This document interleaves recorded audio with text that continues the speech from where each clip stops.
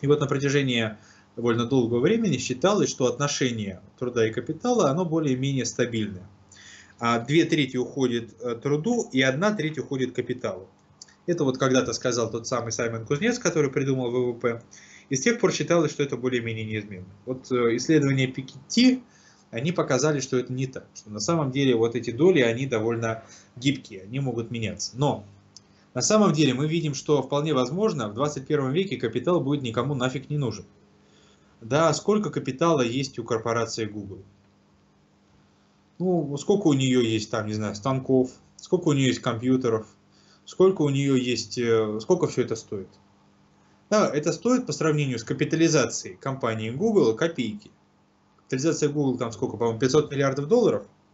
Я думаю, что все имущество, которое есть у Google, да, то есть непосредственно вот физическое имущество, вот тот капитал, который, значит, и включает, я не знаю, какой-нибудь оборотный капитал там, и так дальше. Все это стоит там абсолютные копейки. Ну, я не знаю, сколько стоит капитал Google, но думаю, там может быть 10 миллиардов долларов. Ну, может 15 в крайнем случае. А капитализация у нее там исчисляется сотнями миллиардов. И практически весь тот доход, который получает компания Google, он идет, э, он, э, как бы это сказать-то, господи, ну, он уходит, э, что это там? Алло? Да-да, я тут, я тут. Да, он, короче говоря, вот э, в этих новых компаниях, да, капитал, в общем, короче говоря, не нужен. По большому счету, много ли капитала нужно компании Facebook? Много ли капитала нужно компании, ну я даже не знаю, какую компанию. Какие у нас там самые богатые компании. Да даже тому же Амазону, откровенно говоря, много капитала не нужно. Ну да, ему там нужны складские помещения, все это довольно дорого. Но если мы посмотрим на то, там, какая у него капитализация, да, все эти складские помещения по сравнению с капитализацией тоже будут стоить копейки. Да, то же самое справедливо для кого угодно, да, для того же Apple, хотя он производит вообще-то физический продукт, да, смартфоны, но то же самое. И вполне возможно, что в 21 веке как раз капитал, вот все эти станки, оборудование а, и так дальше, здания, они как раз будут не нужны для экономики. Слушайте, Слушайте, нам только что страйк кто-то кинул на канал. Я, правда, не знаю за что, какой, какое авторское право мы нарушили. А, в общем, сейчас трансляция продолжается на Твиче, а на Ютубе все, нам канал выпилили. Серьезно? Выпили вообще канал? А, ну как, канал не выпилили, но стримить нам теперь нельзя на нем будет. Слушайте, это я, наверное, сам себе сейчас скинул страйк, по всей видимости, как бы. Как? Ну, как, как, собственно, об этом напишут потом, я думаю. А, в этом смысле. Ну да. Ну, вот видите, какие... Слушайте, так мы же, подождите, мы же не нарушали никаких авторских прав. Вот не знаю, вот Сейчас, секунду. тоже транслировал. Сейчас, секунду. А, что, музыку? А, Нет, сев... может... Сегодня только классику исключительно. Шостакович и Бах у меня были. Я думаю, это Ваня Миронов, он нам мстит. А, нет, я думаю, что и мне, и Миронову кидать страйк одни и те же как бы товарищи просто Просто когда страйк летит Миронову, то это я кидаю. А ну, когда... Как там ваш администратор YouTube канала? А? Как ваш администратор YouTube? А, я повторяю в 138 раз. У меня нет YouTube канала, блядь, никогда не было. У меня даже аккаунта на YouTube нет. Вот, поэтому все вот эти разговоры, они бессмысленны по определению. Таких каналов штук 10. Так, секунду, сейчас я попытаюсь. Просто дело в том, что мы сейчас с каналом оригинала стримили. А, Сейчас я попытаюсь понять, как бы, причина страйка.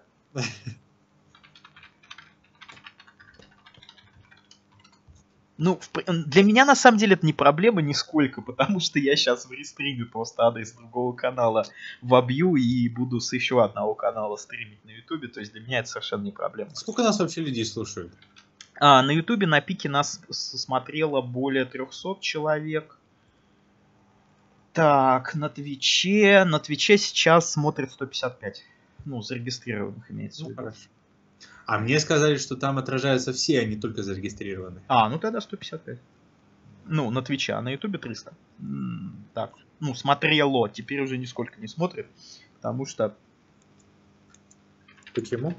Ну, потому что все, страйк прилетел. А, А на Твиче нас слышно еще, да? На Твиче, да, мы, мы в эфире, мы в эфире, безусловно. Я думал, что просто мы уже вышли Не, из... а я сейчас другой URL в стриме. Понимаете, в чем дело? я- Дело в том, что страйкометатели, они жестко просчитались, потому что они-то учитывают, что у меня, как бы, мои трансляции, они привязаны к какому-то определенному каналу. И поэтому, Вот если, так если они накидают ему страйков, то, как бы, мои вещания прекратятся. Но они не учитывают одного момента. Я э, стримлю через рестрим. Поэтому мне насрать абсолютно. Они могут выпиливать хоть, хоть как бы по 10 каналов за трансляцию. Я буду просто на новые каналы переходить и все. Какие вы хитрые. Да. Я просто думал, что мы уже вышли из эфира и собирался обсудить... э, э, на- э, А я могу звук отключить на старт. Не-не-не, и собирался обсудить э, наши с вами договоренность о посещении БДСМ-клуба, вот. А, А, ну, видите, да. Как вам, кстати, моя новая аватарка? Мне очень нравится, я прям тоже, в честно восторге. Мне, нет, серьезно, искренне. Не, не, я тоже, я правда говорю, что... У меня,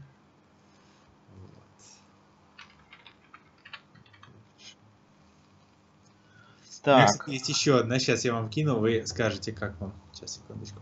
Вот, поэтому, собственно, обращаясь к людям, страйкокидателям, я могу сказать, что... Не, кидайте, пожалуйста. Не-не-не, наоборот, наоборот, ребята, вы можете кидать, продолжать кидать страйки, абсолютно никакой проблемы я в этом не вижу, потому что я пользуюсь замечательной программой, которая называется Restream. И как бы я сейчас просто URL новый вобью и как бы... Я вам кинул ВКонтакте этот самый. Еще одну аут. Сейчас, секунду, я посмотрю.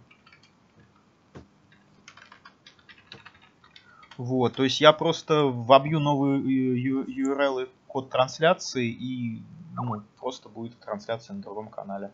Окей, окей. Вот, так что, в общем, никакой проблемы в этом абсолютно нету. Можете продолжать кидать страйки абсолютно без проблем. Ну что у нас? Так, сейчас секунду, я продолжу вопросы. Сейчас у меня просто Мгм. переписка идет.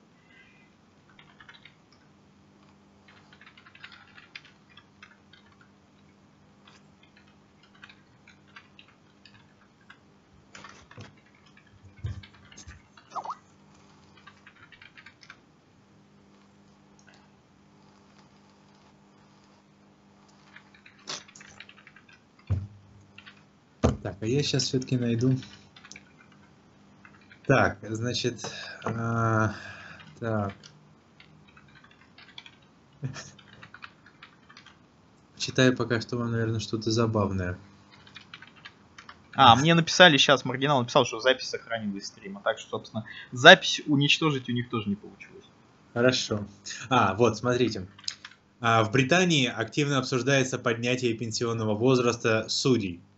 В связи с этим пресса публикует обращения от граждан и судей разных судов. Вот одно из них в Times.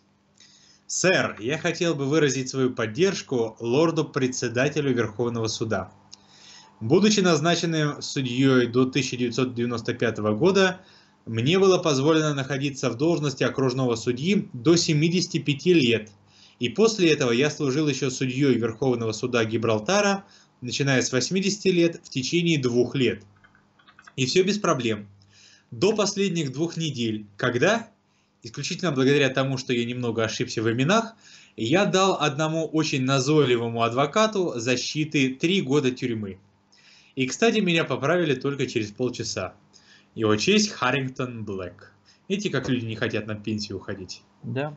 Говорят, мы будем сидеть до последнего. Мы готовы, мы готовы сражаться. Все, как, все как Да, да. при да. позднем совке. Да. Ну ничего, скоро люди станут жить до бесконечности и вообще уйдут в компьютер. Вот. А в компьютере, как я уже рассказывал, там большая этическая проблема, что все всех будут, значит, будут создавать искусственных людей и будут их насиловать, трахать с утра до вечера, и это будет большая Да, проблема. опять, опять вы про, про свое насилование. Да, извините, Ну, что меня, это, меня это не оставляет. Не, вот, кстати, первая аватарка мне больше понравилась, но вторая тоже ничего на самом деле. Ну, если вот этот вот с белыми буквами как бы сократить немножко сбоку, то в Ну, целом, в целом неплохо будет. Да, ну вот буквы, конечно, надо убрать. Ну ничего там немножко. А там ничего интересного нет, только чуть-чуть башенки. Не, даже башенка останется. Ну, самый краешек, да. Ну, не знаю, мне нравится вторая. Не, мне первая как-то больше, там симпатичнее, ну, там и белый мишка, и просто... Да, вот, ну, он дохлый так. немножко. Ну, такое бывает. Да. Так, по поводу Маркса мы ответили, да, все, что там... Да. Что ни одно его не сбылось. Да. Так, ну, да. далее будем отвечать на вопросы или какой-нибудь срач устроим? А давайте лучше на вопрос. Мы уже и так два срача устроили. Лучше давайте вы прочитайте свое любимое стихотворение. А, вы меня как Навального, да, хотите? Ну или давайте я почитаю. Давайте вы, да. Лучше вы что-нибудь там прочитаете или споете даже. Вон и день, когда над миром новым Бог склонял лицо свое, тогда Солнце останавливали словом, Словом разрушали города. И орел не взмахивал крылами, Звезды жались в ужасе к луне, если точно розовое пламя Слово проплывало в вышине. А для низкой жизни были числа, Как домашний подъеремный скот, Потому что все оттенки смысла Умное число передает. Патриарх седой себе под руку, Покоривший добро и зло, Не решаясь обратиться к звуку, Тростью на песке чертил число. Но забыли мы, что сиянно только слово среди земных тревог, И в Евангелии от Иоанна сказано, что слово — это Бог. Мы ему поставили пределом скудные пределы естества, И как пчелы в устье опустелом Дурно пахнут мертвые слова. Вот такие дела. Ну давайте я что-нибудь из Миллермонтова, может быть, давайте, зачитаю. Да, давайте. Мирозданию бесконечному границы нет и края, Как и в загробном мире чистилища нет ада и нет рая. И нет загробного судьи, ведь нет критериев суда, как не кричат о нем попы, он не придет к ним никогда. И был бы бог тот справедлив, что, сидя за гончарным кругом, не овладев искусством лепки, крушил изделия, что кривые и не крепкие, своим горшкам тем самым мстив. Давным-давно, со слов жрецов, бог иудейский сильным был и юным, но ныне нет, э, но ныне веры нет в него, и он состарился и умер. Тем, кто его желает воскресить, идут скорее ослам молиться, фальшивую пьют кровь и жадно едят плоть, лишь бы наесться чем-то и напиться. Кто удовольствий не имел и счастья в жизни не обрел, тот райский выдумал предел и ложных истин орел. Себя он успокоил тем, что после смерти обретет, на зло всем тем, кто его при жизни отымел, средь белых облаков полет. Святой себя лишает в этой жизни благ, надеясь после смерти устремиться в солнечную высь. По-настоящему космических масштабов им движет алчная и глупая корысть. Готов Э, всю жизнь прожить смиряясь, согласен быть морально и физически опущен, лишь бы когда-нибудь, когда-нибудь, когда-нибудь коснуться выдуманных райских пущей. Блаженный думает его душа, сейчас парит под небесами, словно птица, ведь заповедь смирения исполняя, он стоит, нагнувшись и раздвинув ягодицы. Священник землю осквернив, подобен мерзкому глисту, изобретя гиену дьявола и грех, весь мир земной прибил к кресту. Писание учит возлюбить своих врагов, последнюю рубаху с плеч снимая, вторую щеку под удары подставлять, молиться на распятого еврея и народившую его в хлеву еврейку мать. Кто утверждать решится, что такая вера вера, позор ужасный и безумный бред, согласно вере их, грешит хуля богов, а значит к Люциферу будет полон на обед. Священник говорит про первородный грех и поливает желчью бренный мир, но голова его пустой орех, а бог его бессмысленный кумир. Подняв к лицу свои ладони, стоишь пред богом на коленях робко, но бога нет на синем небосклоне, он в черепной к твоей живет коробке, и если слышишь глаз его, то значит время пить лекарства, иначе скоро попадешь в святых блаженных и убогих царства, где восседает царь главврач, и рядом с ним небесной ратью, в одеждах белых не таясь, гуляют статные медбратья, а в славном царстве нищих духом том свет... ряды святых юродивых лежат, пускают пену изо рта пророки, глассируют на непонятных языках и обличают мироздание пороки. Пусть будет это всем учением, скажу невежество клеймя, своей религиозной верой ты создал Бога, а совсем не Он тебя.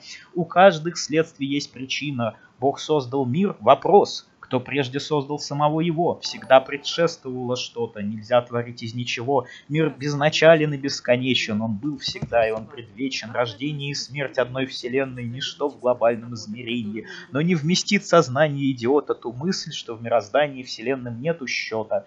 Пусть называют Богом высшего, иного или того, кто обладает над материей, жизнью, силой и знанием, но не является он Богом и Творцом ее, мультивселенной бесконечной глыбы мироздания. И если скажете, мол, есть ей край, ответьте, что за этим краем, не уходите, говоря, Увы, но этого не знаю. Бескрайной иерархии спираль отсутствует начало и кон конец. Кто сотворил наш мир творением чьим-то, тот являлся сам. И у его творца был свой творец. Получишь бесконечно... А, получишь большее число к числу любому, присовокупив один. Над каждым господином есть свой бог, над каждым новым богом есть свой господин. Да, Лермонтов украл у вас этот стишок, да? Да. Это Лермонтов, это Лермонтов. Я понимаю, да. Вот. Его стиль. Да, это он Докинза начитался. Я понимаю, да, да, да. А потом и вас прочитал, и этот стих украл у вас, да, и потом в рукописях дошли. Да. Да, да, да. Ну ладно, хорошо же, хорошо. Так, осталось спеть только. Что мы будем петь? Ой, я не знаю, на ваше усмотрение. Я тоже не знаю. Я не знаю, что спеть, что спеть. Но поете вы лучше Панасенкова, кстати. Немножко, да, получше? Ну, почему же немножко? Ну, когда-то в глубоком детстве я, конечно, ходил в... Как называлось-то, господи, в общем, подготовительные какие-то классы были при Куманском казачьем хоре, но от того времени я уже все абсолютно забыл. Это было еще в младшей школе. Поэтому петь я, конечно, не особо умею. Вот. Что, что спеть-то? Если у меня был сейчас хороший голос, но у меня сейчас голос сел, я бы попытался спеть «Путь далек до Типерери». Но я не знаю, получится ли у меня. Сейчас я, может быть, попью водички. Она оттаяла немножко. Ой. Хотя, с другой стороны, водичка холодная, а толку от нее. Так, да, ну, да. ну что, я вбил, собственно, URL другого канала. Вот. И ну, единственное, нужно будет перезапускать стрим, поэтому, наверное, все-таки в следующий раз я начну вещать на другом канале на Ютубе. Пока что мы только на Твиче. Вот, ну нас да. уже смотрят... Давайте тогда я и, и спою в следующий раз. Да, а тогда, собственно, я... нам Вата админ и споет в следующий раз. А, а сейчас вот, э, да. Так, еще вопрос. Вот в лекции о причинах богатства стран вы говорили, что переход от расширенной семьи к ядерной обусловлен жадностью католической церкви. То есть по мере уменьшения вероятности появления наследника в скобках мальчика увеличивается вероятность того, что наследство передадут церкви. И вот вопрос. Первое. Да. Если переход от расширенной семьи к ядерным был одним из факторов, который повлиял на появление в Европе тех институтов и системы права, которые привели к промышленной революции, то является ли переход от расширенной семьи к ядерной обязательным условием для заимствования этих готовых европейских институтов азиатскими странами? Иными ну, словами, ну, смотрите, могут ли в странах секунду закончу вопрос. Иными словами, могут ли в странах расширенной семьи гармонично и продуктивно существовать викторианские институты? А, смотрите, викторианские вряд ли э, в полной мере, а экономические институты, которые создал Запад, э, да, они могут существовать в расширенной семье. Я опять же советую прочитать. Это непростая книжка, э, но вот ее как раз я советую прочитать. Называется «Непреднамеренные последствия». Автор Дипа Клал. Вот. Почитайте, она не такая простая для понимания, но ну, с другой стороны, в общем, ничего там особо, какие-то совсем уж там заглубленные рассуждения про... Э, сейчас, одну секундочку, я люблю этот момент. Сейчас, вы пока что-нибудь другое посмотрите, Ежи, а я пока что найду этот момент, который я очень люблю. Да-да-да, я сейчас заполню чем-нибудь паузу. Опять каким стихотворением, кстати, могу. Так. Что пишут по поводу вашего великолепного стихотворения Лермонтова? Так, так, так. Не, всем понравилось на самом деле. Ну хорошо, хорошо. Я за вас рад. Я, я как бы понимаю, что людям нравится контент по, по тем редким моментам, когда они перестают э, писать гадости про меня. Бессонница, Гомер, тугие паруса. Я список кораблей прочел до середины. Сей Птичий выводок сей поезд журавлиный, что над Элладою когда-то поднялся. Как журавлиный клин в чужие небеса, на головах царей божественная пена. Куда несетесь вы, когда бы не Елена, что трое вам ахейские мужи? И море, и Гомер все движется любовью. Куда же деться мне? И вот Гомер молчит, и море черное, беснуясь, шумит, и с грохотом подходит к изголовью. Немножко переврал, но не суть. Так вот, я хочу зачитать свой любимый э, отрывок из э, этой книжки. Мне кажется, он вам понравится. Все-таки у вас образование соответственно. Так. Тулмин утверждает, что к современности вело два пути. Скептический гуманизм позднего Ренессанса, воплощенный Монтеньем, э, Эразмом Роттердамским и Шекспиром, и рационализм конца 16 столетия, воплощенный Декартовым поиском определенности, послуживший фундаментом для триумфа научной революции и методов механистической ньютоновской физики как образца рациональности. Самая оригинальная находка Тулмина состоит в том, что рационалистический проект был вызван 30-летней войной, которая последовала за убийством французского короля Генриха IV в 1610 году. Попытка Генриха создать религиозно терпимое светское государство с равными правами для католиков и протестантов отразила скептический гуманизм Монтеня. Убийство Генриха было воспринято как признак неудачи толерантного скептицизма эпохи Ренессанса. А, как утверждает Тулмин, рационалистический проект, породивший научную революцию, вошел в резонанс с развивавшейся параллельной системой национальных государств, созданной Вестфальским миром. Совместное влияние этих двух систем продолжалось до Первой мировой войны.